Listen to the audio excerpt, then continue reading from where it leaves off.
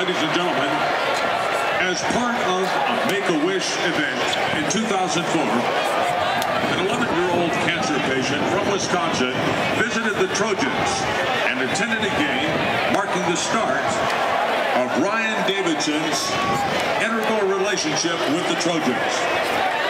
Over the past five seasons, Ryan became an inspiration to USC coaches and players. He fought through four brain surgeries and 60 rounds of radiation treatments. But in February, on his 16th birthday, Davidson lost his nearly 10-year battle with brain cancer.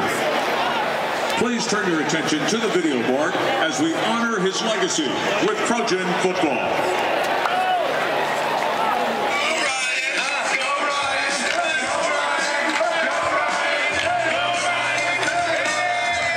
Just captured the hearts of really our whole football team, in particular, really some of the marquee players. Uh, you know, nobody took to him more than Matt Leinart, LenDale White, Reggie. Those guys were all just uh, just embraced Ryan. And he kind of embraced him on back. And in, those early days when he was so young, he was so shy.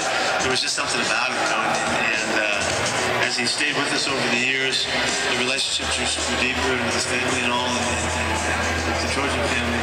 He just kind of became one of us. And the great thing about Ryan is that he was so much more concerned with other people's lives. He was more concerned with um, when I was going to play or, or how come I'm not starting with someone else's or just what was going on with my life. Mean, his days were kind of winding down. Um, I had a chance to speak to him before he passed, and um, I just told him that I loved him like a brother,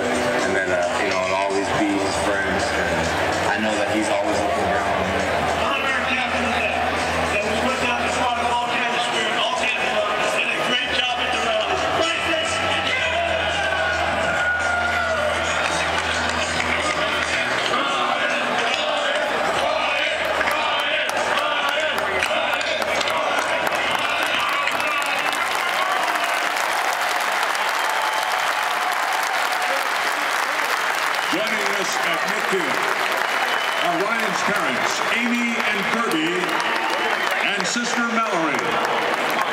As head coach Pete Carroll presents them with a special gift from the Trojans.